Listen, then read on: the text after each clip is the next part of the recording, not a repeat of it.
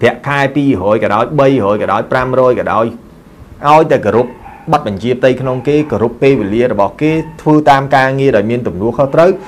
វាអត់មានលុយកន្លែងណាដែលបញ្ជាក់ថាលុយពិបាករកប៉ុន្តែអ្វីដែលខ្ញុំចង់បញ្ជាក់វិញពេលដែលយើងបានលុយនឹងមកតើយើងចាត់ចែងវាយ៉ាងម៉េចចូលមកអឺចូលមកប្រធានបទរបស់យើងដែលយើងនិយាយអំពីការចាត់ចែងហិរញ្ញវត្ថុ និយាយទៅការចាត់ចែងហិរញ្ញវត្ថុនេះគឺជារឿងមួយដែលសំខាន់មែនទែននៅក្នុងជីវិតរបស់យើងអូខេទោះបីខ្ញុំតាមពិតខ្ញុំខាងមនុស្សទេប៉ុន្តែអ្វីដែលខ្ញុំចែកម្លែកជូនបងប្អូនហ្នឹងមិនមែនជាលក្ខណៈ technical ទេមិនមែនលក្ខណៈជំនាញទេពីព្រោះខ្ញុំអត់នៅខាង financial ទេខ្ញុំអត់នៅខាងហិរញ្ញវត្ថុទេខ្ញុំនៅខាងធនធានមនុស្សប៉ុន្តែដោយសារតែជាទូទៅយើងចេះអារបៀបយុទ្ធសាស្ត្រនិងចិត្តសាស្ត្រ អញ្ចឹងទោះបីជាមកដល់ហិរញ្ញវត្ថុខ្ញុំជាលក្ខណៈ soft skill វិញខ្ញុំធ្វើវាទៅជាលក្ខណៈជំនាញទុនព្រោះជំនាញហ្នឹងខ្ញុំអត់ចេះទេព្រោះអាហ្នឹងគេអាចរៀន4ឆ្នាំចប់បរិញ្ញាបត្ររៀន6ឆ្នាំចប់អនុបណ្ឌិតឬក៏រៀនដល់បណ្ឌិតអីអញ្ចឹងហើយបើនិយាយពីទ្រឹស្ដីរបស់វាអីអាហ្នឹងខ្ញុំខ្ញុំខ្ញុំអត់ចេះទេអ្វីដែលខ្ញុំចេះរបៀបលក្ខណៈជាជាជា soft skill បានន័យថាជាផ្នត់គំនិតបានន័យថាបើសិនជាក្បួនហិរញ្ញវត្ថុគេធ្វើយ៉ាងម៉េចយ៉ាងម៉េចអានឹងខ្ញុំអត់ចេះទេអូខេ អញ្ចឹងអ្វីដែលខ្ញុំចែកចាយនេះជៀសវាងបងប្អូនយល់ច្រឡំថាខ្ញុំមានជំនាញផ្នែកហិរញ្ញវត្ថុមិនមែនទេប៉ុន្តែមកត្រឹមចាយលុយគឺយើងត្រូវចេះគិតតែបើធ្វើបញ្ជីគេបែងចែកមិន cash flow មិនអានោះខ្ញុំអត់ចេះទេអូខេខ្ញុំក៏ដឹងថា cash flow ហ្នឹងធ្វើម៉េចវាវាវាហូរយ៉ាងម៉េចវាមានបញ្ហាម៉េចក្នុងនាមជាសហគ្រិនឬក៏ជាអ្នករស់ស៊ីមួយយើងយើងយើងត្រូវការដឹងដែរពីព្រោះអាហ្នឹងវាជាសរសៃឈាមរបស់យើងអញ្ចឹងណាបងប្អូន អឺអញ្ចឹងថ្ងៃនេះអ្វីដែលយើងដែលដែលខ្ញុំយកមកចែកម្លែកបានន័យថាការចាត់ចែងហិរញ្ញវត្ថុវគ្គ2ពីមុនយើងចែកម្លែកហើយហើយវគ្គវគ្គទី1ហ្នឹងបានចែកម្លែករួចហើយអញ្ចឹងថ្ងៃនេះយើងចែកម្លែកវគ្គទី2ម្ដងមានន័យថានៅពេលដែលយើងចាប់ដើមគេហៅថាឯករាជ្យហិរញ្ញវត្ថុណាបានន័យថាលែងលែងលាដៃសុំលុយឪពុកម្ដាយចាយហើយអញ្ចឹងមានន័យថាយើងត្រូវមានចំណេះដឹងក្នុងការចាត់ចែងហិរញ្ញវត្ថុឬគ្រប់គ្រងហិរញ្ញវត្ថុរបស់យើង បើមិនអញ្ចឹងទេធ្វើឲ្យឆាកជីវិតរបស់យើងរស់នៅតែតោលិចអណ្ដែតលិចអណ្ដែតហើយជាពិសេសដូចខ្ញុំចែករំលែកនៅនៅរោងចក្រដែលនៅខេត្តកំពង់ស្ពឺព្រឹកមិញអញ្ចឹងបើសិនជាយើងនៅពេញកម្លាំងវ័យក្មេងយុវវ័យកំពុងតែមមមួនគេត្រូវយកអាពេលវេលាដែលយើងកំពុងតែមមមួនហ្នឹងទៅរលុយឲ្យខ្លាំងបែរជាយើងយកអាកម្លាំងដែលមមមួនរបស់យើងហ្នឹងទៅដើរសបាយរលុយ50ទៅ 50 50បានន័យថាចង់សបាយ50រលុយ50តែជាទូទៅពេលដែលយើងពេញកម្លាំងចេះគួរដែលយើងព្យាយាមរលុយយ៉ាងហោចណាស់ឲ្យបាន80 90ហើយយើងសបាយនឹងត្រឹម10 20បានហើយបើមិនចង់ឲ្យទឹកភ្នែកនៅពេលដែលយើងចាស់ឡើងអូខេកន្លែងហ្នឹងចង់ជម្រាបជូនបងប្អូនបន្តិចត្រង់ចំណុចហ្នឹងអញ្ចឹងការចាត់ចែងហិរញ្ញវត្ថុរបស់យើង នៅទីនេះខ្ញុំយកតែ4សំខាន់សំខាន់នេះបានន័យថានិយាយអំពីដំណាក់កាលនៃការរៀបចំឬក៏ចាត់ចែងហិរញ្ញវត្ថុសម្រាប់ជីវិតរស់នៅរបស់យើងហ្មងវាមាន4ដំណាក់កាលដំណាក់កាលទី1នៅពេលដែលយើងនៅលីវតើពេលដែលយើងនៅលីវយើងគួរតែរៀបចំចាត់ចែងហិរញ្ញវត្ថុរបស់យើងនឹងដូចម្ដេចដំណាក់កាលទី2នៅពេលដែលយើងមានគ្រួសារតើយើងរៀបចំចាត់ចែងហិរញ្ញវត្ថុរបស់យើងនឹងយ៉ាងម៉េចពេលហ្នឹងយើងធ្វើមកតង់ទៀតហើយ មួយទៀតពេលដែលយើងคลายទៅជាឪពុកម្ដាយរបស់គេតើយើងរៀបចំចាត់ចែងហិរញ្ញវត្ថុយ៉ាងម៉េចទៀតវាផែនការវាវាមួយកលៈមួយកលៈមួយកលៈហើយចុងក្រោយដំណាក់កាលទី4មានន័យថាពេលដែលយើងចាស់ចូលនិវត្តន៍ឬក៏យើងផ្អាកយើងផ្អាកលែងអឺពេលវេលាយើងដែលត្រូវសោយសុខហើយកម្លាំងយើងវាថមថយហើយអូខេអានឹងយើងត្រូវយើងត្រូវត្រៀមខ្លួន ណាអញ្ចឹងដំណើរជីវិតយើងហ្នឹងវាមាន4កលៈហ្នឹងហើយអា4កលៈហ្នឹងវាពាក់ព័ន្ធជាមួយលុយហ្នឹងវារឿងមួយដែលសំខាន់ដែរពីព្រោះជីវិតរស់នៅជាមួយនឹងលុយសម័យបច្ចេកវិទ្យាសម័យជឿនលឿននេះអត់លុយកុំយកយកអីទៅនិយាយមួយគេក៏ពិបាកដែរណាណែអត់លុយពិបាកនិយាយមួយគេដែរចូលទៅក្នុងសង្គមអូខេលុះត្រាតែយើងមិននិយាយរឿងលុយលុះត្រាយើងជាអ្នកដែលខាងសមាគមចិត្ត ធរធ្វើសពរសធរឬនៅខាងវិហារនៅខាងវត្តអារាមជាដើមអាហ្នឹងអូខេបានប៉ុន្តែបើសិនជាយើងនៅគេហៅថានៅអាណាចក្រនៅក្នុងអាណាចក្រហ្នឹងលុយលុយលុយសំខាន់ណាអូខេវាជាមួយគ្រួសារมันអាចយកទៅប្រៀបធៀបថាណាសំខាន់ជាងណាពីព្រោះវាសំខាន់ដូចគ្នា វាសំខាន់ដូចគ្នាប៉ុន្តែសម័យបច្ចេកវិទ្យាគេអាចឲ្យលុយនឹងវាសឹងតែខ្លាំងជាងទៀត ហេតុអីពីព្រោះអ្វីដែលយើងរកឃើញឲ្យតែមានលុយវាងាយនឹងឲ្យមានសុភមង្គលដែរប៉ុន្តែនៅពេលដែលអត់លុយវាងាយនឹងធ្វើឲ្យយើងអត់សុភមង្គលដូចគ្នាដូចគ្នាអូខេកន្លែងហ្នឹងដែលចង់យកមកចែករំលឹកជាមួយបងប្អូនបន្តិចហើយក៏ធ្លាប់បានឲ្យយោបល់ទៅគេថាជាពិសេសមនុស្សស្រីក៏ដោយមនុស្សប្រុសក៏ដោយហើយអ្នកអ្នកអ្នកខ្លះគាត់មើលនៅក្នុងអា អា caption របស់ខ្ញុំខ្ញុំទៅសេខ្ញុំអត់មានពេលបកស្រាយមួយគាត់ទេជួនកាលខ្ញុំខ្ញុំខ្ញុំពិបាកបកស្រាយនិយាយរួមគេប្រាប់យើងណាកុំព្យាយាមនិយាយហេតុផលជាមួយអ្នកដែលមិននិយាយហេតុផលមនុស្សដែលមិននិយាយហេតុផលឬក៏ស្ដាប់យើងមិនចូលរឹងរូសមានអ្នកកុំនិយាយហេតុផលមួយគាត់ខាតពេលវេលាយកពេលវេលានេះទៅពុះអស់ទៅរែកទឹកដាំបាយចំណេញជាងណាអញ្ចឹងកន្លែងនេះក្រើនរំលឹកដល់បងប្អូន ជាមួយមនុស្សដែលមិននិយាយហេតុផល ជាមួយមនុស្សដែលមានអ្នករឹងរូសមិនស្ដាប់នរណាមិនទទួលយោបល់អ្នកណាគុំនិយាយហេតុផលមួយគាត់សុកចិត្តយកពេលទៅអានសភៅយកពេលទៅធ្វើការឲ្យគេវិញយកពេលទៅបោកកអាវវិញល្អជាងឬយកពេលទៅគេងហ្មងទៅសម្រាកហ្មងទៅដេកហ្មងល្អជាងយកពេលទៅនិយាយជាមួយមនុស្សបែបហ្នឹងអាចបង្កទៅជាការប្រកែកបង្កទៅជាចំនួនទៀតមិនមែនមនុស្សទាំងអស់សុទ្ធតែយើងអាចនិយាយហេតុផលជាមួយគាត់បានទេកន្លែងហ្នឹង ហើយអ្វីដែលខ្ញុំចង់និយាយហ្នឹងគឺជាស្អីខ្ញុំថាមនុស្សស្រីជាពិសេសខ្ញុំលើកទឹកចិត្តមនុស្សស្រីបើសិនជាមានមនុស្សប្រុសចង់ចូលមកស្ដីយើងឬក៏ចង់មកតាមស្រឡាញ់យើងយើងទៅឆែកថាម្នាក់ហ្នឹងធ្វើការសល់លុយអត់តែឆែកតែហ្នឹងបាទណា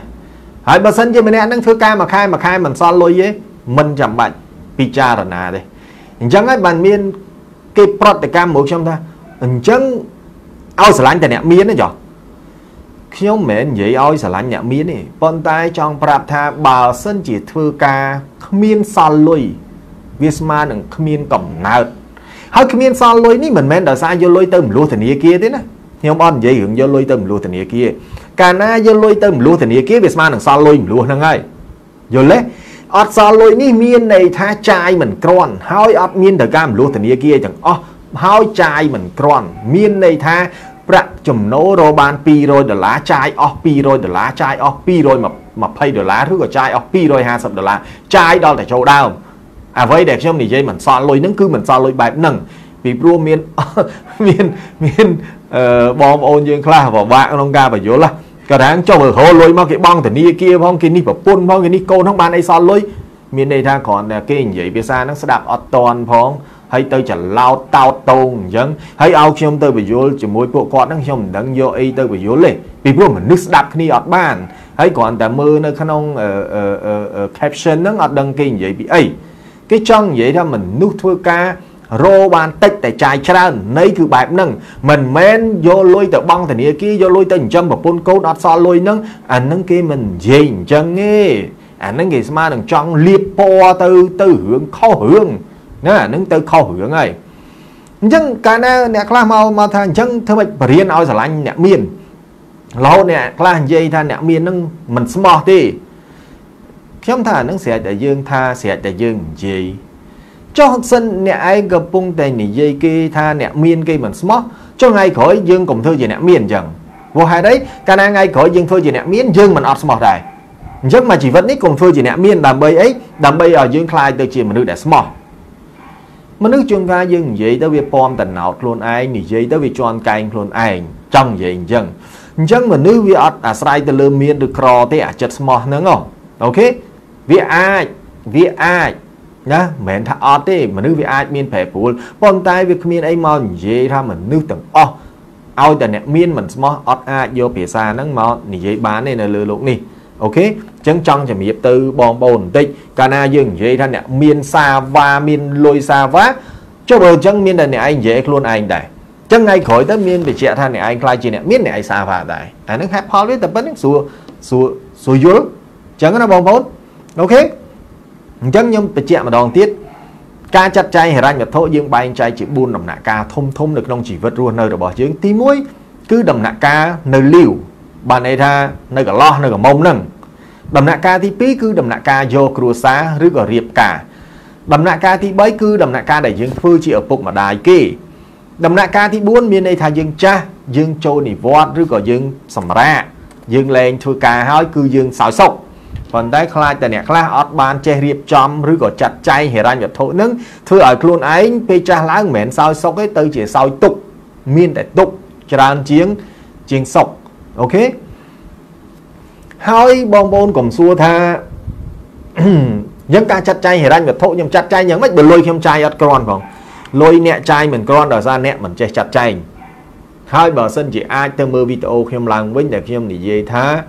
លុយស្រួលរប៉ុន្តែចាយវាពិបាកប្រាក់ខែ200ក៏ដោយ300ក៏ដោយ500ក៏ដោយឲ្យតែគោរព បတ်បញ្ជាផ្ទៃក្នុងគេគោរពពេលវេលារបស់គេធ្វើតាមការងារដោយមានទំនួលខុសត្រូវវាអត់មានលុយកន្លែងណាដែលប្រាក់ដែលបញ្ជាក់ថាលុយពិបាករប៉ុន្តែអ្វីដែលខ្ញុំចង់បញ្ជាក់វិញពេលដែលយើងបានលុយនឹងមកតើយើងចាត់ចែងវាយ៉ាងម៉េចអានឹងមិនពិបាកអញ្ចឹងថ្ងៃហ្នឹងខ្ញុំឧទាហរណ៍មួយថាឥឡូវបើសិនជាមានមានមានមានគេសួរខ្ញុំហើយថាឥឡូវប្រាក់ខែខ្ញុំ200ហ្នឹងខ្ញុំធ្វើម៉េចសល់បើប្រាក់ខែខ្ញុំតែ200ហ្នឹង ហើយឥឡូវបងប្អូនប្រាក់ខែ200អត់ច្រើនទេណាតិចណាប្រាក់ខែ200យើងតិចហ៎អូខេហើយក៏អាចមានអ្នកខ្លះប្រាក់ខែតិចជាងនឹងទៀតអានឹងខ្ញុំចង់ជម្រាបមានអ្នកប្រាក់ខែតិចជាង200ទៀតឥឡូវយើងយកតែប្រាក់ខែ200យកមកនិយាយចុះបងប្អូន200ធ្វើមិនសល់ទី1ខ្ញុំបែងចែកជា4ឧទាហរណ៍ប្រាក់ខែរបស់យើង200អ្វីដែលយើងត្រូវការចំណាយខ្ញុំបែងចែកជា4ធំធំទី1 ថ្លៃជីវភាព ទី2ថ្លៃសិក្សាឬក៏ថ្លៃគេហៅថាសែបគប់មិត្តភ័ក្តិដែលចាយនៅក្នុងឬក៏ទំនាក់ទំនងសង្គមណាទី3យើងនិយាយអំពីថ្លៃព្យាបាលឬក៏ពេលដែលយើងមានមានអឺឧបសគ្គកើតឡើងឬមានគ្រោះថ្នាក់កើតឡើងណាឬក៏មានករណីចាំបាច់មួយបន្ទាន់កើតឡើងដែលយើងត្រូវការប្រើលុយទី4ថ្លៃវិនិយោគត្រូវតែមានលុយវិនិយោគ ទោះបីប្រាក់ខែ200ក៏ដោយកុំមានលេសច្រើននៅពេលណាដែលអ្នកចាប់ដើមឯករាជ្យលែងត្រូវការចាយលុយឪពុកម្ដាយហើយ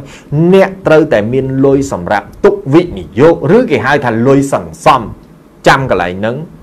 ចាំឲ្យច្បាស់អូខេទី1ថ្លៃជីវភាពវាមានអីអាហារយើង3ពេលឬក៏មានអង្គណាមាននឹងឡាក់ហ្នឹងវាចូលទៅក្នុង ថ្លៃសម្រាប់ជីវភាពឬក៏ការចំណាយសម្រាប់ជីវភាពរស់នៅប្រចាំថ្ងៃបើអ្នកជួលផ្ទះមានថ្លៃជួលផ្ទះថ្លៃទឹកថ្លៃភ្លើងសាំងម៉ូតូសម្លៀកបំពាក់ស្បែកជើងលាក់នឹងលាក់អញ្ចឹងនៅក្នុង200នេះខ្ញុំមិនកន់ខ្ញុំព្យាយាមមិនកន់ខ្ញុំថាថ្លៃជីវភាពក្នុងមួយខែបើសិនជាប្រាក់ខែ200យកតែ120មកចាយអាមកជួលលើនឹងព្យាយាមចាយតែ120អញ្ចឹងយើងជួលផ្ទះយើងត្រូវរកគ្នាអាចយើង យើងរកគ្នាមកយើងចំណាយតែ20ដុល្លារចឹងផ្ទះហ្នឹងអាចមួយ40ដុល្លារយើងយើងនៅ2នាក់បើផ្ទះហ្នឹងមួយ60ដុល្លារធំយើងអាចនៅ3នាក់អញ្ចឹងយើងព្យាយាមថាខ្ញុំចំណាយតែ20ដុល្លារធ្វើម៉េចខ្ញុំរកផ្ទះជួលណាដែលខ្ញុំអាចចំណាយ20ដុល្លារហើយទឹកភ្លើងយ៉ាងច្រើនខ្ញុំចំណាយអស់5ដុល្លារទៀតអញ្ចឹងខ្ញុំនៅជាលក្ខណៈ share គ្នារួមគ្នា ពីព្រោះអីការចំណាយរបស់ខ្ញុំវាមានកម្រិតអាហារពេលព្រឹកបើសិនជាយើងទៅអត់រួចទៀត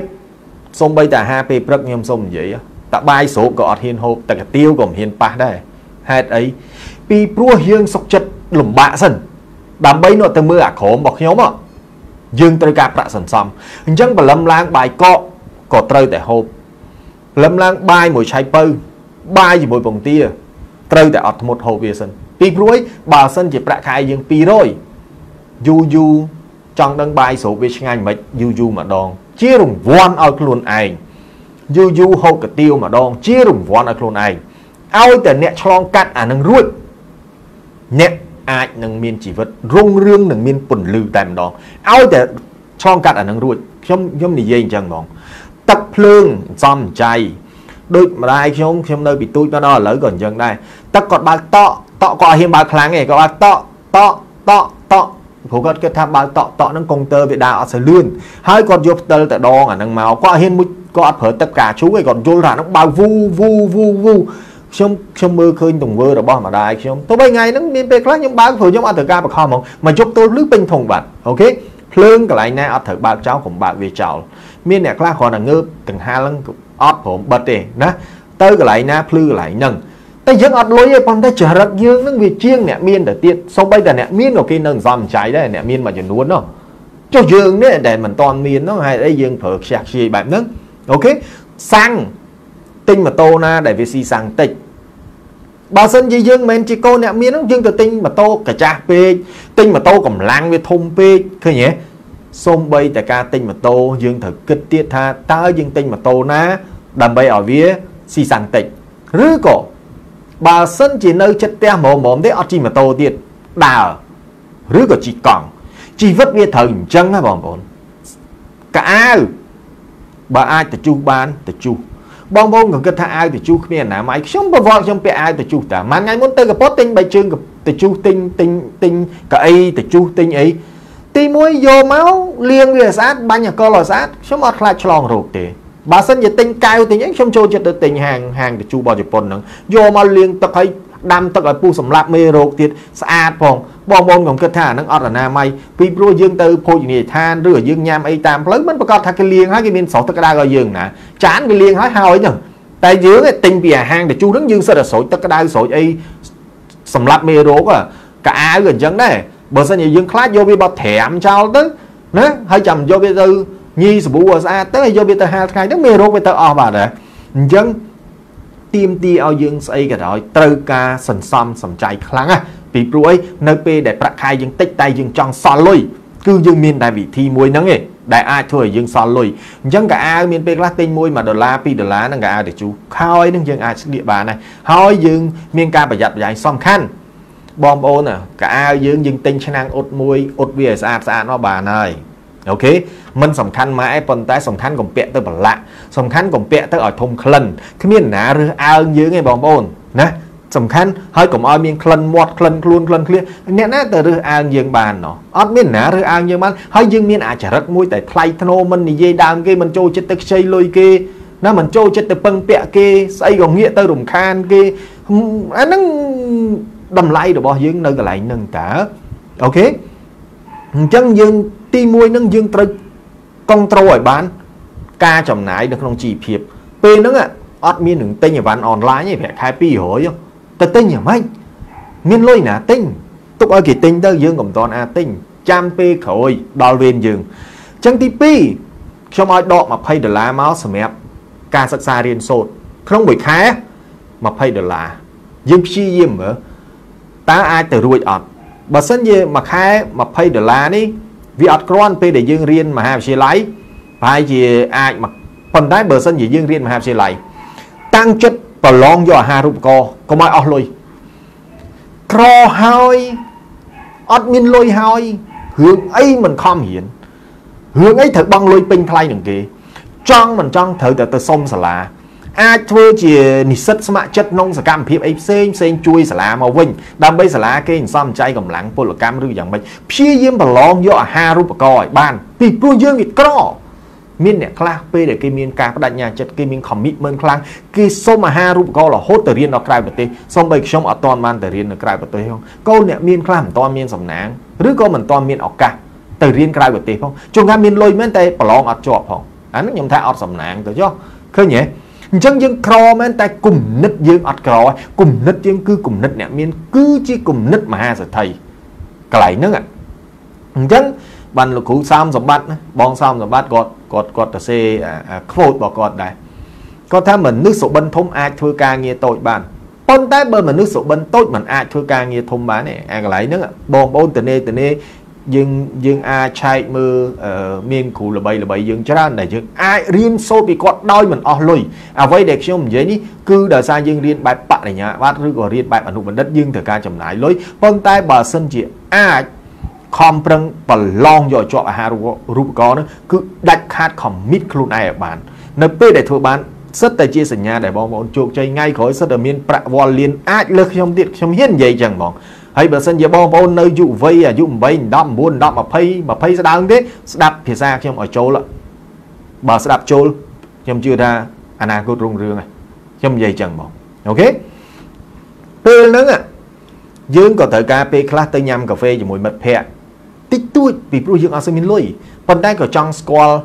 Amazon គេមើលស្គាល់ Today មើល ណាមានពេលខ្លះយូយូយូយូបានរង្វាន់បានអឺប្រាក់អំណាចឆ្នាំបានអីហ្នឹងចង់ស្គាល់ Starbucks មើលស្គាល់ Brown មើលស្គាល់ Pizza មើលណាអាហ្នឹងយូយូម្ដងពីព្រោះយើងវាកូនមិនមែនកូនអ្នកមានធ្វើម៉េចអូខេអញ្ចឹងប៉ុន្តែការរើសសាលារៀនការរើសមុខវិជ្ជារៀនការរើសមិត្តភ័ក្តិការសែបគប់មិត្តភ័ក្តិគឺជារឿងមួយដែលសំខាន់ ត្រូវដាច់ខាតគុំសែបគប់មិត្តភ័ក្តិដែលអត់ប្រយោជន៍ការស៊ីផឹកខ្លះអត់ប្រយោជន៍គុំទៅ មានពេលខ្លះស្គាល់គ្នាហ្មងហ្មងគេហៅទៅស៊ីកាគេហៅទៅខុសកំណើតឡើងផ្ទះដកខ្លួនជាបន្ទាន់គុំសែបគប់ច្រើនពេកបើសិនជាលក្ខណៈបែបហ្នឹងយើងអត់មានលុយចងដៃគេទេកញ្ចប់យើងអត់មានទេអញ្ចឹងមានពេលខ្លះ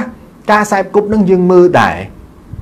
បើសិនជាសែបគប់ទៅបែបដើម្បីតែហៅគ្នាទៅវិញទៅមកគាំទ្រគ្នាទៅវិញទៅមកឡើងផ្ទះម្នាក់ម្ដងខួបកំណើតម្នាក់ម្ដងការម្នាក់ម្ដងកុំទៅយើងអត់អាចទៅមានសមត្ថភាពដល់ប៉ុណ្ណឹងទេបើមិនអញ្ចឹងធ្វើការមិនក៏អត់សល់លុយដែរអញ្ចឹងត្រូវគិតក្រំខ្លួនឯងហើយអាការចាយលុយផ្ដេសផ្ដាស់ផឹកស៊ីផឹកស៊ីផឹកស៊ីនេះបំផ្លាញលុយអស់ច្រើនខូចសុខភាព ទៅធ្វើការមិនបាន គេកាត់លុយទៀតអាហ្នឹងតែនៅក្នុងភាសាច្បាប់គេមិនមែនថាគេកាត់លុយទេយើងគ្មានសិទ្ធិទទួលបាននៅពេលដែលថ្ងៃដែលយើងអវត្តមានពីការងារហ្នឹងអូខេទី3ថ្លៃព្យាបាលជំងឺត្រូវត្រៀមទោះបីមិនឈឺក៏ត្រៀមដែរអញ្ចឹងអាថ្លៃរៀនថ្លៃអីហ្នឹងខ្ញុំទាញតែ20ដុល្លារបើលើសពី20ដុល្លាររកមកសូបាយយកអាហារូបករណ៍អាហ្នឹងអាហ្នឹងសម្រាប់យើងជាកូនអ្នកខគឺតាំងចិត្តត្រូវតែអញ្ចឹងទី3ថ្លៃព្យាបាលសុខភាព ឬក៏ពេលដែលមានអាសន្នត្រូវការលុយប្រើទាញ10ដុល្លារយកមកទុកទាញយក10ដុល្លារយកមកទុកឈឺមិនឈឺក៏ត្រូវយកវាទុកខែនឹងអត់ឈឺសល់10រៀលខែក្រោយអត់ឈឺសល់20រៀលខែក្រោយអត់ឈឺសល់30អត់ឈឺមួយឆ្នាំសល់120ទុកឈឺពេលណាណាមួយយើងយកមកប្រើបានអូខេហើយព្យាយាមពេលឈឺព្យាយាមហាត់ប្រាណកុំព្យាយាមលេបថ្នាំ ហាត់ប្រាណនៅបញ្ជាទើបយើងលេបថ្នាំលេបថ្នាំបញ្ជាបានយើងទៅពេទ្យអូខេប៉ុន្តែមនុស្សដែលរស់នៅស្អាតបាតមានអនាម័យកុំបោះសម្រាមផ្ដេសផ្ដាស់ក្នុងបន្ទប់ទឹកសម្អាតវាឲ្យស្អាតស្អាតដេកឲ្យវាស្អាតស្អាតមានមូសបើខ្លាចមានមូសចងមុងយើងមិនងាយណាមិនងាយណាឈឺទេហើយកាលណាយើងមិនឈឺយើងមិនងាយចាយលុយទេអូខេដូចខ្ញុំអញ្ចឹងដូចខ្ញុំដូចគ្នាមិនងាយឈឺទេនិយាយនិយាយតាមត្រង់ពីព្រោះខ្ញុំចាប់ដើមចេះថែសុខភាពខ្ញុំយូរដែរហើយណា ទី4សន្សំលុយដើម្បីទុកវិនិយោគទៅថ្ងៃក្រោយគឺ50ដុល្លារប្រាក់ខែ200បដិញ្ញាចិត្តមួយខែយ៉ាងហោចណាស់សល់50ដុល្លារសម្រាប់ទុកសន្សំឬទុកវិនិយោគ10ដុល្លារសម្រាប់សុខភាព ក្រៅពីនឹងចាយបានតែ140ដុល្លារ140ដុល្លារទៀតសោតត្រូវយក20ដុល្លារទុកទំនាក់ទំនងសង្គមបង្កើតមិត្តភ័ក្តិដើម្បីស្គាល់គ្នាញ៉ាំអីតិចតួចចូលរួមជាមួយគេកុំឲ្យគេថាហៅអត់ហៅអត់យូរយូរទៅជាមួយគេម្ដងយើងមានកញ្ចប់20ដុល្លាររបស់យើងហើយថ្លៃជីវភាពបើសិនជាក្រឹតមកនៅត្រឹម100បានរឹតតែល្អណាជួនកាលបងប្អូនល្ងាចឡើងធ្វើម៉េចយើងអ្នកអត់យើងអ្នកអត់ទៅធ្វើការឲ្យគេយប់ឡើងឆ្លៀតជួយអញ្ចេះឲ្យតែគេឲ្យបាយក៏រស់ដែរ គេឲ្យបាយក៏រស់ដែរបើសិនខ្ញុំក្របែបហ្នឹងឪពុកម្ដាយខ្ញុំក្របែបហ្នឹងខ្ញុំឡើងមកពីខេត្តខ្ញុំអត់ត្រូវការមុខមាត់ទេខ្ញុំនិយាយប្រាប់បងប្អូនតាមត្រង់ខ្ញុំសុកចិត្តហូបអត់ហូបឃ្លាននិយាយឲ្យគាត់ស្ដាប់ស៊ីអត់ស៊ីឃ្លានប៉ុន្តែខ្ញុំមានគោលដៅខ្ញុំខ្ញុំត្រូវតែមានប្រាក់សន្សំបើមួយខែខ្ញុំអាចសល់50ដុល្លារ ខ្ញុំដឹងតែ2ខែខ្ញុំសល់100ខ្ញុំសល់លុយនេះខ្ញុំអាចទិញជ្រូកទិញមាន់ទិញទាឲ្យឲ្យបងប្អូនឬក៏ឲ្យឪពុកម្ដាយនៅស្រុកគាត់ព្យាយាមចិញ្ចឹមចិញ្ចឹមបានធំទៅលុយនឹងវាចេះតែធំទៅធំទៅជួនកាលយើងទិញជ្រូកតាំងពីមួយក្បាលពីរក្បាលវាអាចយូរទៅដល់10ក្បាល20ក្បាលបងប្អូនមានគំនិតសហគ្រិនតាំងពីក្មេងមានគំនិតសហគ្រិនតាំងពីនៅក្រអញ្ចឹងធ្វើជាសហគ្រិនមិនមែនចាំដល់តែមានលុយទេសំខាន់អាផ្នត់គំនិតនឹងវាមកមុនសិន ឲ្យតែផ្នត់គំនិតនឹងមកមុនហើយបងប្អូនមានសង្ឃឹមខ្លាំងណាស់ក្នុងការคลายទៅជាអ្នកមានឬคลายទៅជាមហាសេដ្ឋីមិនត្រឹមតែคลายទៅជាសេដ្ឋីទេអូខេអញ្ចឹងសូម្បីតែប្រាក់ខែ200បើយើងចេះកន់វាយកចេញមកហើយយើងខំមីតខ្លួនឯងមានពេលខ្លះចង់ហូបលេបទឹកមាត់បានណាអត់អាចហូបបានជួយគេថាចុះនៅសល់លុយ50រៀល no ប៉ះអត់បានទេព្រោះលុយនឹងលុយសន្សំ អត់អាចប៉ះលុយនឹងបានចុះអា10វាទៀតអានឹងក៏អត់ដែរព្រោះលុយសម្រាប់ថែសុខភាពអ ត់អាចប៉ះវាបានដូចគ្នា សង្ឃឹមថាបងប្អូនធ្វើអីឲ្យមាន commit ខ្លួនឯងខ្ញុំមកដល់ថ្ងៃនេះនិយាយពីចំណូលខ្ញុំវាច្រើនហើយបើនិយាយមែនតើប៉ុន្តែបងប្អូនខ្ញុំចង់ប្រាប់ថាអាហារពេលព្រឹកខ្ញុំជួនកាលអត់ដល់2ដុល្លារទេអាហារពេលព្រឹកខ្ញុំជួនកាល10000អត់ដល់ទេខ្ញុំជួនកាលហូបបបបត្រីនៅនៅក្នុងបរិយហូបមីកាទៀវអត់អត់អត់អត់អត់ថ្លៃផងណា6 7000 យូរយូរដល់ខ្ញុំមានការណាត់ជួបគេបានខ្ញុំទៅហូបក្រៅពីព្រោះកូវីដខ្ញុំអត់ចង់ចេញហូបនៅខាងក្រៅច្រើនដែរអញ្ចឹងខ្ញុំហូបនៅក្នុងសហគមន៍បានណាហូបនៅក្នុងបរិយពីព្រោះខ្ញុំមើលកន្លែងហ្នឹងក៏ស្អាតបាតហើយណាមួយមិនបាច់មានមនុស្សច្រើនទេក្នុងបរិយអត់មានមនុស្សច្រើនដូចនៅខាងក្រៅអញ្ចឹងក៏អត្រានៃការឆ្លងកូវីដហ្នឹងក៏វាទាបដែរហើយខ្ញុំគិតថាអាចហូបបានហើយណាមួយមកដល់វ័យខ្ញុំ41ហើយយើងយើងអត់មានហូបអីច្រើនផងឥឡូវនេះព្យាយាមហូបអត់ច្រើនទេអញ្ចឹងខ្ញុំត្រូវទីមួយរក្សារៀងខ្លួនឯងដែរ ហ៎យើងចាស់មែនតែនៅរក្សារៀងខ្លួនឯងបានដែរអញ្ចឹងសិតតែរឿងល្អអញ្ចឹងខ្ញុំព្យាយាម commit ខ្លួនឯងលុយអឺប៉ុន្តែមានពេលខ្លះយូរយូរលួងខ្លួនឯងម្ដងដែរទិញខ្ញុំចូលចិត្តពាក់នីលកាអញ្ចឹងនីលកាខ្ញុំអាចមានពី3អីអញ្ចឹងទៅខ្សែក្រវ៉ាត់អីអញ្ចឹងទៅប៉ុន្តែដោយសារខ្ញុំមានពេលខ្លះខ្ញុំរកលុយបានអញ្ចឹងខ្ញុំអាចធ្វើនឹងបានណាបងប្អូនអូខេប៉ុន្តែបើឲ្យខ្ញុំចាយលុយឲ្យខ្ជះខ្ជាយប៉ាណាប៉ាណីហ្មងអត់ទេបងប្អូនអត់ទេខ្ញុំព្យាយាម control ខ្លួនឯង ទោះបីខ្ជះខ្ជាយខ្ជះខ្ជាយមិនច្រើនទេតិចតួចបំផុតអូខេមួយទៀតនៅពេលដែលយើងរៀបការត្រូវគិតឲ្យបានច្បាស់ហើយត្រូវច្បាស់ថាពេលដែលយើងរៀបការមនុស្សពីរនាក់រលុយឬក៏មនុស្សម្នាក់រលុយបើសិនជាយើងការប្រពន្ធយើងជាមេផ្ទះនៅផ្ទះគិតឲ្យច្បាស់ថាអំរែកនឹងយើងរែករួចអត់បើរែកមិនទាន់រួចកុំការចាំហើយបើសិនជាការ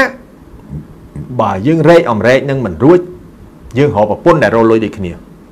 ប្រពន្ធក៏រលុយប្តីក៏រលុយហើយមកវិញធ្វើមហូបប្តីលាងចានប្តីបោកអាវប្រពន្ធដាំបាយមានសុភមង្គលបងប្អូនស្មើសម័យរូបភាព យើងក្រមែនចេញពីធ្វើការហត់ដូចគ្នាប្តីបោះផ្ទះជួផ្ទះប្រពន្ធនោះលាងបន្លែទិញសាច់មកពីនាយទៅតុកតុកតុកតុកតុកតុកតុកតុកប្តីយកអាវរបស់ប្រពន្ធយកទៅបោកយកទៅអីយកទៅណាបងប្អូនមើលខ្ញុំជឿថានឹងមានសុភមង្គលដែរបងប្អូន ខ្ញុំគិតថាគ្រួសារនេះវាតូចគ្រួសារនេះដូចអត់មានអីសម្ភារៈអីល្អប្រើដូចគេមែនប៉ុន្តែខ្ញុំមើលតែចង្គៀងផ្ទះនេះភ្លឺល្អដូចមានសំណើមមានពន្លឺល្អហើយអាចនឹងមានភាពស្និទ្ធស្នាលផ្អែមល្ហែមនឹងគ្នាទៀតអញ្ចឹងបងប្អូនសម័យសម័យមើលថាតើគ្រួសារទោះបីជានៅផ្ទះជួលមែនបើសិនជាយើងមានអញ្ចឹងប្តីប្រពន្ធមកគូនេះខ្ញុំជឿថាមិនយូរទេមានលុយតែផ្ទះ ពីព្រោះសិតតែអ្នកដែលមានគំនិតហើយអ្នកដែលមានកំណើតអញ្ចឹងបងប្អូនកុំខ្លាចណាប៉ុន្តែបើសិនជាពេលដែលការមនុស្សម្នាក់នៅផ្ទះត្រូវចិញ្ចឹមប្រពន្ធទៀតអានឹងបន្ទុកយើងខ្លាំងណាស់អញ្ចឹងសួរខ្លួនឯងថាចំណែករបស់គេនោះត្រូវយើងជាអ្នករកជំនួសអញ្ចឹងសួរប្រាក់ខែ3 300ទៅចិញ្ចឹមប្រពន្ធមិនបើសិនជាយើងប្រាក់ខែ200ប្រពន្ធបើធ្វើការគេយ៉ាងតិចក៏200ដែរអញ្ចឹងវាត្រូវ400បើយើងអត់មាន400យើងទៅយកប្រពន្ធឲ្យនៅផ្ទះអត់បានទេពិបាកណា ពិបាកណាអញ្ចឹងអាហ្នឹងឯងសិតតែត្រូវការរៀបចំចាត់ចែងហិរញ្ញវត្ថុហ្នឹងឲ្យវាខ្លាំងហ្នឹងបន្ទាប់មកទោះបីរលុយទាំងពីរក៏ដោយប្រាក់ខែយើងបានច្រើនបន្តិចក៏ដោយយើងចាប់ដើមគិតទៀតមានកូនសិនឬក៏ត្រូវទិញផ្ទះសិនចាំមានកូនឬក៏អ្នកខ្លះត្រូវទិញឡានសិនកន្លែងហ្នឹងត្រូវដឹងអាណាជាអត្តភាពប្តីប្រពន្ធខ្លះមិនតាន់អីរហូតទៅទិញឡានណាអញ្ចឹងជាទូទៅឡាននេះលុះត្រាតែលុយយើងវាលែងមានបញ្ហា កុំចង់ហឺហាកុំចង់តែដូរឡានប្រយ័ត្នប្រយ័ត្នរហូតអំបិលច្រកឆ្នាំងវិញលើហើយណាកុំអាងលើមលួសការងារវាមិនថិតថេរទេវាអាចមានការប្រែប្រួលវាអាចមានការប្រែប្រួលអូខេដូចសាលារងថ្ងៃនេះខាតក៏មិនតិចដែរមិនតែសាលាខ្ញុំទេសាលាច្រើនណាខាតក៏មិនតិចដែរអញ្ចឹងបើសិនជាពួកខ្ញុំអ្នកដែលបើកសាលានេះมันមានប្រាក់សន្សំណាយើងក៏ចប់ដែរអាជីពរបស់យើងគឺត្រូវចប់ហ្មង អូខេបើយើងរកបានយើងចាយទៅពីទៅពីទៅពីទៅពីអាជីពរបស់យើងគឺត្រូវចប់ហ្មងដូចកូវីដអញ្ចឹងយើងចប់ហើយអូខេអញ្ចឹងត្រូវគិតមុននឹងមានកូនត្រូវឆែកចំណូលរបស់ខ្លួនត្រូវដកមើលថាបើកូនមួយយើងចំណាយប្រមាណកន្លែងនឹងទៀមទាឲ្យបងប្អូនគិតហើយគិតទៀតគិតហើយគិតទៀតកុំចេះតែបង្កើតកូនមកហើយឆ្លោះគ្នាប្តីប្រពន្ធប្តីប្រពន្ធឆ្លោះតែគ្នាហើយយកអាកូននឹងវាទៅញាត់ឲ្យយាយតានោះទៅវេទនានៅស្រែនោះអាហ្នឹង ចេញមកយើងអត់មានកំណើតទេដោយសារគំនិតយើងវាមិនកើតអូខេអយើងត្រូវដឹងថាពីអ្នកប្តីប្រពន្ធយើងចំណាយប្រមាណកូនយើងត្រូវចំណាយប្រមាណត្រូវជួម៉ែដោះអត់ព្រោះយើងទៅធ្វើការទាំងពីរនាក់កូនទុកឲ្យណាកុំអាងអីយកទៅញាត់ឲ្យយាយតាអាងអីយកទៅញាត់ឲ្យយាយតាគាត់មើលយើងឡើងហត់ហើយរឿងអីទៅមើលនេះទៀតលុះត្រាតែយាយតានឹងគាត់ពេញចិត្តក្នុងការមើលចៅបើអត់ យើងទុកសេរីភាពឲ្យឪពុកម្ដាយយើងរស់នៅបានស្រួលផងមិនមែនឈ្នួលយើងបំរើយើងដាច់ថ្លៃទេកុំធ្វើកូនបែបហ្នឹងតែបើយាយតាគាត់អផ្សុកគាត់ស្រឡាញ់ចៅគាត់គាត់ក៏មានលុយដែរគាត់អត់មានធ្វើអីទេអាហ្នឹង OK ហើយគាត់ក៏អាចជួយអប់រំចៅយើងកូនយើងឲ្យបានល្អអាហ្នឹង OK មួយទៀតពេលដែលយើងរៀបការតើឪពុកម្ដាយត្រូវការយើងចិញ្ចឹមអត់អ្នកខ្លះសំបីតែនៅលីវក៏ត្រូវការចិញ្ចឹមឪពុកម្ដាយដែរអញ្ចឹងពេលដែលដំណាក់កាលយើងរៀបការនឹងយើងត្រូវគិតថា យើងចំណាយអស់ប្រមាណអញ្ចឹងបានអ្នកខ្លះពេលដែលចេះគិតគាត់សុខចិត្តទុកខ្លួនឯងឲ្យអាយុដល់30 40បានគាត់ហ៊ានរៀបការដោយសារហេតុអីគាត់គិតថាគាត់មិនទាន់អាចផ្ដល់សុភមង្គលឲ្យនារីម្នាក់នោះបានអញ្ចឹងគាត់អត់ទាន់ហ៊ានរៀបការទេ ហើយកាលណាគាត់ខ្លាចពេលដែលយកប្រពន្ធហើយឪពុកម្ដាយគាត់នឹងរងការប៉ះពាល់ពីព្រោះខ្លាចប្តីប្រពន្ធរស់នៅអត់បានសុខដោយសារអីគាត់ត្រូវការគិតគូរឪពុកម្ដាយគាត់អត់មានអ្នកណាចិញ្ចឹមខ្លាចប្រពន្ធចិត្តមិនបាន ខ្លាចប្រពន្ធចិត្តចង្អៀតកន្លែងហ្នឹងយើងត្រូវតែចេះគិតយើងដាច់ខាតត្រូវតែចេះគិតអញ្ចឹងការចាត់ចែងហិរញ្ញវត្ថុមិនរឿងលេងលេងមិនរឿងលុំលុំទេរឿងសុភមង្គលគ្រួសារទាំងមូលអូខេទី3ពេលដែលយើងខ្លាចទៅជាឪពុកម្ដាយគេ យើងកាន់តែលែងហ៊ានចាយលុយផ្ដេសផ្ដាស់ទៀតពីព្រោះកូនយើង ចាប់ដើមចូលរៀនមតីអស់លុយប្រមាណ ចូលដល់បឋមអស់លុយប្រមាណចូលអនុវិទ្យាល័យចូលវិទ្យាល័យរហូតចូលដល់មហាវិទ្យាល័យរហូតកូនយើងធំពេញវ័យចាប់ដើមមានស្នេហាចេះសម្ភារៈនិយមចាប់ដើមចេះទិញកាដូឲ្យគេចាប់ដើមចេះទាម៉ូតូលាក់និងលាក់បងប្អូនគិតកូនម្នាក់ចាយលុយប្រមាណដែលជាបន្ទុកមកលើយើងនេះមិនមែនចេះតែកើតកូនព្រាវព្រាវព្រាវព្រាវអត់បានទេសំបីតែចំនួនខ្ញុំខ្ញុំឆ្លងកាត់ហើយហី ព្រោះខ្ញុំខ្ញុំឆ្លងកាត់ខ្ញុំមកដល់ថ្ងៃនេះកូន4កូនខ្ញុំ4និយាយទៅផែនការដែលនៅក្នុងកូនខ្ញុំមានតែ2 2ទៀតមកដល់ចៃដន្យដែរអាហ្នឹងដែលខ្ញុំឆ្លងកាត់ខ្ញុំដឹងថាជីវិតខ្លួនឯងហ្នឹងវាយ៉ាងម៉េចចេះតែបកើតកូនបកើតកូនដល់ហើយមានសម្ពាធខ្លាំងណាស់ប៉ុន្តែដូចខ្ញុំនឹងដោយសារតែខ្ញុំកើតកូនហើយខ្ញុំព្យាយាមខំមីខ្លួនឯងដែរពីព្រោះវាជាកម្លាំងចលករវិញតាមពិតវាជាសម្ពាធខ្លាំងអាហ្នឹងខ្ញុំថាខ្ញុំត្រូវទទួលខុសត្រូវ ពីព្រោះខ្ញុំបង្កើតកូនមកហើយខ្ញុំត្រូវតែទទួលខុសត្រូវអញ្ចឹងខ្ញុំត្រូវតែផឹងអញ្ចឹងមកដល់ថ្ងៃនេះដោយសារតែខ្ញុំខំប្រឹងមិនអោយគេថាក្រហើយមិនក៏កូនច្រើនម៉េះអញ្ចឹងខំប្រឹងឲ្យមានអញ្ចឹងខំប្រឹងរលុយអញ្ចឹងមកដល់ថ្ងៃនេះនៅតែរត់តាមខេត្តរត់ថតតតតខំប្រឹងឲ្យតែមានឱកាសអូខេពីព្រោះ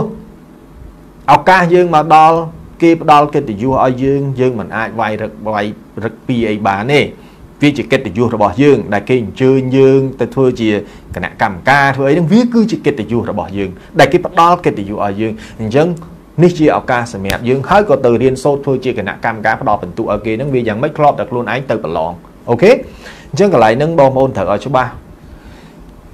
រាល់ការចំណាយអត់ស្រួលទេអញ្ចឹងកុំនិយាយថាលុយពិបាករកចាយស្រួលខុសហើយលុយរកស្រួលតែចាយបានពិបាក អញ្ចឹងចាប់ពីពេលនេះតទៅ commit មើលទៅមើលលុយខ្លួនឯងឡើងវិញឆែកសុខភាពហិរញ្ញវត្ថុរបស់ខ្លួនឯងឡើងវិញហេតុអីបានចេះតែក្រហេតុអីបានចេះតែក្រហើយឲ្យតែមានអ្នកផ្ទះឈឺបន្តិចឆ្លេឆ្លាឆ្លេឆ្លាកុំឆ្លេឆ្លា នៅពេលដែលយើងចេះទុកដាក់យើងលែងឆ្លេឆ្លាហើយអូខេស្ដាប់ស្ដាប់អត់តន់ណាអញ្ចឹងលុយរបស់យើងពេលដែលកើតកូនត្រូវមើលផង តាំងកតោបក្មេង ណាកអាវក្មេងព្រោះក្មេងឆាប់ធំងាយងាយដូរកអាវណាអាកតោបនឹងប្រើចុះណាទឹកដោះគោស្អីស្អីយើងត្រូវការមានជីវជាតិតិចទៀតកូនចូលរៀនត្រូវយ៉ាងម៉េចយ៉ាងម៉េចរឿងច្រើនណាស់មុននឹងយកកូនត្រូវច្បាស់ខ្លួនឯងសិនមុននឹងយកប្តីមុននឹងយកប្រពន្ធត្រូវច្បាស់ដូចគ្នាហើយត្រូវច្បាស់ថាឪពុកម្ដាយយើងអ្នកណាអ្នកទទួលខុសត្រូវត្រូវគិតពួកគាត់ឲ្យអស់ទៀតអូខេកន្លែងហ្នឹងចុងក្រោយពេលដែលយើងត្រៀមចូលនិវត្តន៍ ឬក៏ពេលដែលយើងចាស់ហើយយើងធ្វើការឡើងកើតអូខេឬក៏យើងត្រូវការសោយសុខដូចខ្ញុំខ្ញុំ commit ជាទូទៅខ្ញុំអាយុ50ខ្ញុំលែងចង់ហត់ហើយបងប្អូនខ្ញុំត្រឹម50អីខ្ញុំប្រហែលជាបន្ថយការងារខ្ញុំឲ្យទៀតមែនតើខ្ញុំលែងត្រូវការប្រឹងហើយអញ្ចឹងឥឡូវហ្នឹងខ្ញុំពេលដែលខ្ញុំពេញកម្លាំងខ្ញុំត្រូវតែប្រឹងដាច់ខាតខ្ញុំត្រូវតែប្រឹងដាច់ខាតអូខេអញ្ចឹងពេលដែលចាស់ទៅត្រូវសួរខ្លួនឯងប្រភពយើងបានមកពីណាអញ្ចឹងបានពេលចាស់ទៅគេចង់ឲ្យមានចំណូលអកម្មឲ្យច្រើនកុំឲ្យខ្លួនឯងពិបាកចំណូលអកម្មហ្នឹងបានមកពីណា ចូលហ៊ុនមួយគេគេចែកប្រាក់ប្រាក់ចំណេញឬគេចែកភាគលាភមានផ្ទះជួលឲ្យគេក៏បានដែរមានតូបនៅផ្សារជួលឲ្យគេក៏មានលុយដែរអញ្ចឹងពេលដែលចាស់ឡើងជាទូទៅគេព្យាយាមឲ្យយើងមានចំណូលអកម្មមានចំណូលអកម្មមានន័យថាមិនចាំបាច់ធ្វើការចំណូលនឹងវាមកដូចអ្វីដែលខ្ញុំនិយាយអញ្ចឹងតោះនេះអូខេអានឹងបងប្អូនស្ដាប់អត់តន់ទី2 តើយើងសំលុយបានទុកសម្រាប់ពេលចាយចាស់ឡើងអត់ត្រូវមានកញ្ចប់មួយសម្រាប់ខ្លួនឯងពេលចាស់ឡើងយើងគិតមើលថាមួយខែយើងចាយប៉ុន្មានហើយយើងវាយអាយុខ្លួនឯងថាដល់100ឆ្នាំចុះណាយើងវាយអាយុខ្លួនឯង100ឆ្នាំទៅអញ្ចឹងពីយើងអាយុ60ទៅដល់100ឆ្នាំ40ឆ្នាំអញ្ចឹង40ឆ្នាំនេះយើងចាយវាមិនពីព្រោះអាកញ្ចប់លុយហ្នឹងតាំងការថែរក្សាសុខភាពពិនិត្យសុខភាពយើងមាននៅក្នុងនឹងទាំងអស់អញ្ចឹងយើងត្រូវរៀបចំអាកញ្ចប់លុយហ្នឹងទុកឲ្យហើយហើយអ្នកណាមក មកថែរក្សាយើងដូចខ្ញុំខ្ញុំអត់ត្រូវការកូនខ្ញុំមកថែរក្សាខ្ញុំទេដោយសារខ្ញុំត្រូវមានលុយជួលខាងសេវាកម្មមន្ទីរពេទ្យឬក៏ clinic ដើម្បីឲ្យគេពិនិត្យសុខភាពខ្ញុំឬក៏ខ្ញុំទៅទៅឲ្យគេពិនិត្យផ្ទាល់អញ្ចឹងបើសិនជាខ្ញុំមានលុយច្រើនខ្ញុំអត់ទៅទេគឺខ្ញុំអញ្ជើញគ្រូពេទ្យឲ្យមកប្រចាំខ្លួនរបស់ខ្ញុំវិញតែខ្ញុំចំណាយលុយឲ្យច្រើនបន្តិចតែបើសិនជាខ្ញុំអត់មានលទ្ធភាពទេគឺខ្ញុំត្រូវទៅពេទ្យជាប្រចាំពេលដែលអាយុខ្ញុំចាស់ហើយ ខ្ញុំត្រូវទៅពិនិត្យសុខភាពជាប្រចាំអាចមួយខែម្ដងឬក៏3ខែម្ដង វាអាចទៅអញ្ចឹងប្រហែលជាមិនដល់6ខែទេនៅពេលដែលខ្ញុំដល់វ័យមួយគឺខ្ញុំត្រូវការប្រយ័ត្នប្រយែងសុខភាពរបស់ខ្ញុំអញ្ចឹងខ្ញុំដឹងទៀតថាខ្ញុំមិនបំពុលទុកទៅកូនកូនចៅទេដោយសារហេតុអីកូនចៅគេមានកូនគេទៀតអញ្ចឹងគេមានបន្ទុករបស់គេទៀតអញ្ចឹងខ្ញុំអត់ទៅបំពុលទុកជំនាន់ជំនាន់មុនទេអូខេទុកឲ្យគេមានបន្ទុករបស់គេទៅ ជំនាន់ក្រោយមិនជំនាន់មុនទេជំនាន់ក្រោយកូនចៅនឹងគេមានសម្ពាធរបស់គេទៅខ្ញុំអត់ទៅលវីលវល់ឲ្យអីគេមកពិបាកដោយសារយើងយើងឈឺគេមកមើលថែយើងគេទៅធ្វើការងារអត់កើតគេរកស៊ីក៏មិនកើតគេមានកូនគេទៀតយើងអត់ចង់យើងអត់ចង់អញ្ចឹងខ្ញុំត្រូវការគិតច្រើនណាខ្ញុំត្រូវការរៀបចំជីវិតរបស់ខ្ញុំធ្វើម៉េចឲ្យវារស់នៅដោយបានល្អកូនគេតនេ គេមកមើលយើងមកគេនាំចៅយើងមកមើលយើងមកគេទិញអីវ៉ែអីវ៉ាន់ឲ្យយើងមកជូនយើងមកអូខេសប្បាយចិត្តបាត់រឿងទី4មានគេអកយឲ្យកូនណពេលដែលយើងចាស់ទៅឬយើងរៀបទៅវិញយើងទុកគេអីឲ្យកូនខ្លះមានគេខ្លះដើម្បីដឹងថាយីមកមកជាតិនេះមកជីវិតនេះបកកែដែរតើលុយសរាប់សិបលានឬក៏រាប់100លានឬរាប់ពាន់លាន បកែដែរតាខ្លាំងដែរតាអាហ្នឹងគាត់តែយើងធ្វើតែខ្លួនឯងណាអីមកមកជីវិតនេះខ្លាំងបើប៉ុណ្ណាទៅណាមកជីវិតយើងនេះមានតម្លៃប្រហែលទៅអាយុអាយុយើងនឹងវាស់លុយស្មើប្រហែលប្រហែល100លានទៅប្រហែល10លានទៅឬប្រហែលពាន់លានទៅអាហ្នឹងយើង challenge ជា game មួយសម្រាប់ខ្លួនឯងតា game នេះមិនមែនជាលក្ខណៈលបែងស៊ីសងប៉ុន្តែជា game នៃជីវិតរបស់យើងអញ្ចឹងចុងក្រោយគាត់តែចង់ផ្ដាំថាមានតែអ្នកដែលបកកែរលុយទេ បានជាអ្នកដែលបកកាយចាត់ចែងហិរញ្ញវត្ថុអញ្ចឹងនៅពេលដែលអ្នកបកកាយចាត់ចែងហិរញ្ញវត្ថុនឹងស្មើនឹងអ្នកដែលបកកាយរលុយដូចគ្នាអញ្ចឹងថ្ងៃហ្នឹងចង់ចែករំលែកជូនបងប្អូនរឿងប៉ុណ្ណឹងចង់ឲ្យបងប្អូនចាយលុយប្រយ័ត្នប្រយែងមែនតែនប្រយ័ត្នប្រយែងមែនតែនពីព្រោះលុយពិបាកចាយបងប្អូន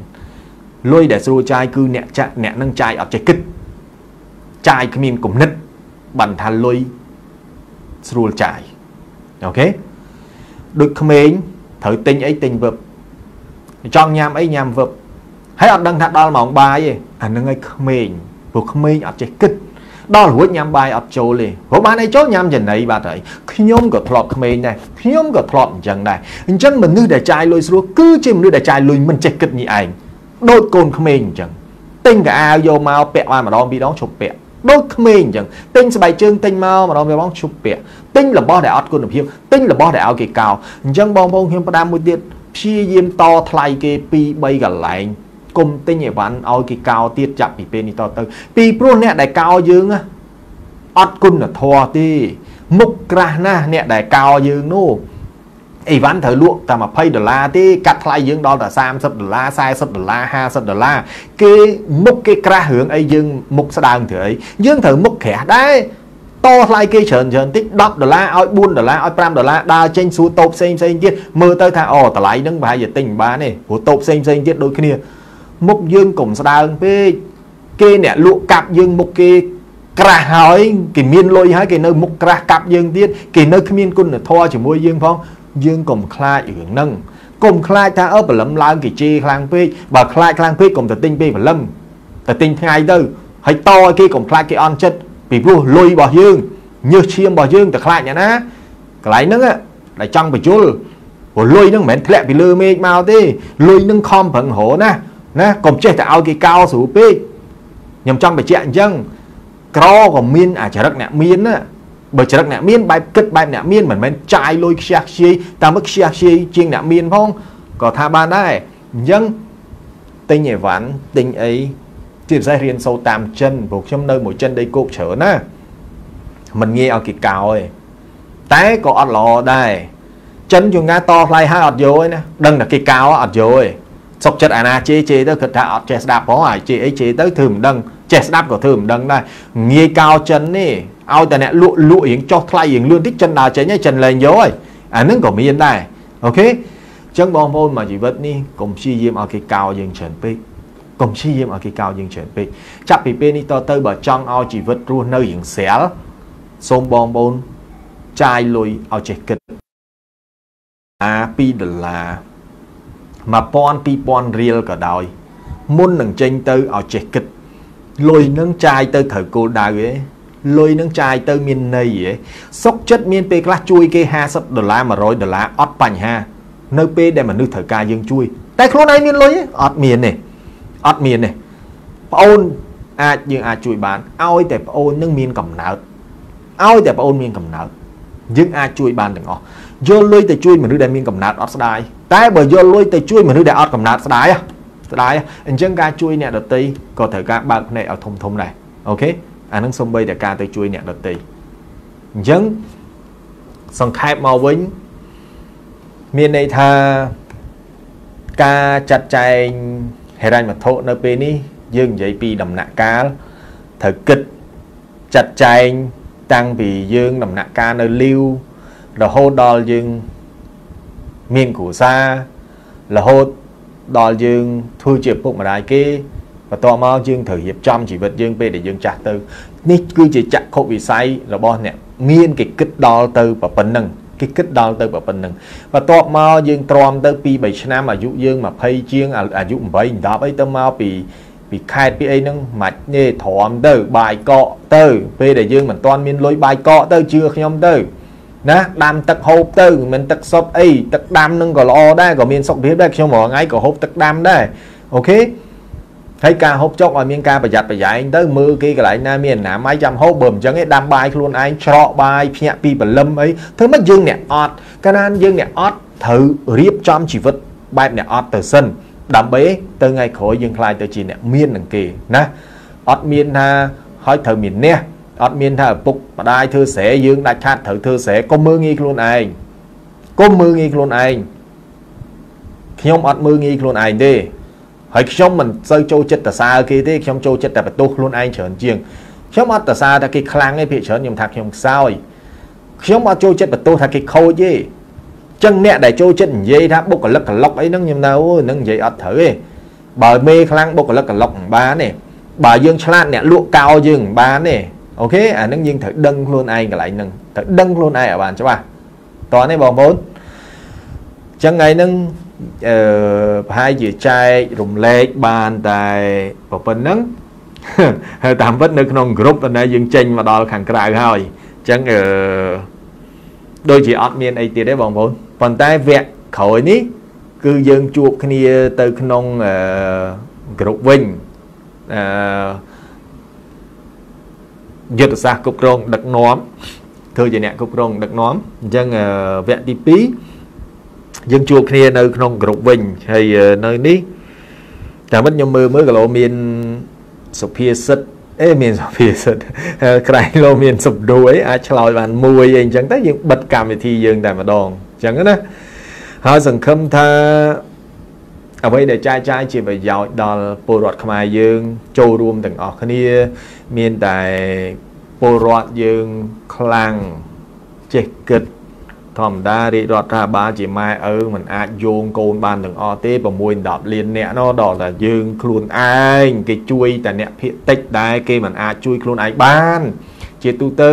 អ្នកដែលមានសុខភាពខ្សោយឬក៏ពិការភាពឬក៏អីហ្នឹងទុកឲ្យជាទូទៅនឹងរាជរដ្ឋាភិបាលជួយអ្នកអញ្ចឹងឲ្យបានច្រើនទៅបើមិនយើងកើតមកមានកាយសម្បទាន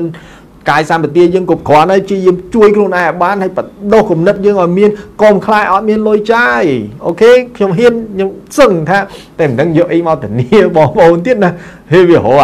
អាស្អីបើមានបានចង់តែធានាហ្មងប្រាប់ថាពេលដែលអាយុ8 10ធ្វើការឲ្យគេគុំខ្វល់ពីប្រាក់ខែមានឱកាសគេទទួលយើង ជាបបពិសោធន៍ខំបឹងហ៊ានអាហ្នឹងល្អមានពេលខ្លះដែលខ្ញុំនិយាយ ខ្លួនឯងអត់ចេះអីផងតែរើសប្រាក់ខែអានឹងស្មើនឹងអីគេហៅថាអត់មានលុយសោះតែនៅតែនៅតែស៊ីរើសស៊ីរើសទៀតទាំងខ្លួនឯងអត់មានអីសោះកន្លែងហ្នឹងបើសិនជានៅជាបុគ្គលិកគេកុំគ្មានមេណាហ៊ានទទួលយកយើងទេគេទទួលយកយើងបានទេអត់ចេះអីសោះហ្នឹងរឹសការងារទៀតវាមិនខុសពីអត់ ផ្ទះហ្នឹងប្រក់ស្បូវតែរឹសស៊ីទៀតនិយាយគាត់ស្ដាប់តិចចុះមិនថារឹសហូបរឹសញ៉ាំទេវាអត់សូវព្រោះស្ដាប់វាស្ដាប់ទៅឆ្កងប្រាប់ថាផ្ទះអត់មានអីសោះនៅរឹសស៊ីទៀតអាហ្នឹងអត់បានទេមើលកលៈទេសៈខ្លួនឯងស្គាល់ខ្លួនឯងឲ្យច្បាស់អញ្ចឹងបងប្អូនដែលមានចំណូលនៅទៀតត្រឹម200អីហ្នឹងកុំហូបអ្វីដែលលើសពីសមត្ថភាពរបស់យើងយូរយូរហូបម្ដងបានហើយបើសិនជានេះទេ ដូចខ្ញុំនិយាយអញ្ចឹងត្រូវបាយកកបាយកកត្រូវបបគឺបបហើយប៉ុន្តែវារយៈពេលខ្លីវាមិនមែនជារយៈពេលវែងទេបងប្អូនណាតស៊ូបន្តិចអត់ធ្ងន់បន្តិចតែគ្រប់គ្រងលុយយកឲ្យបានប្រាក់ខែមិនដោយដាច់ខាត់មួយខែមួយខែត្រូវតែមានសល់លុយផ្ដាំតែប៉ុណ្្នឹងឯង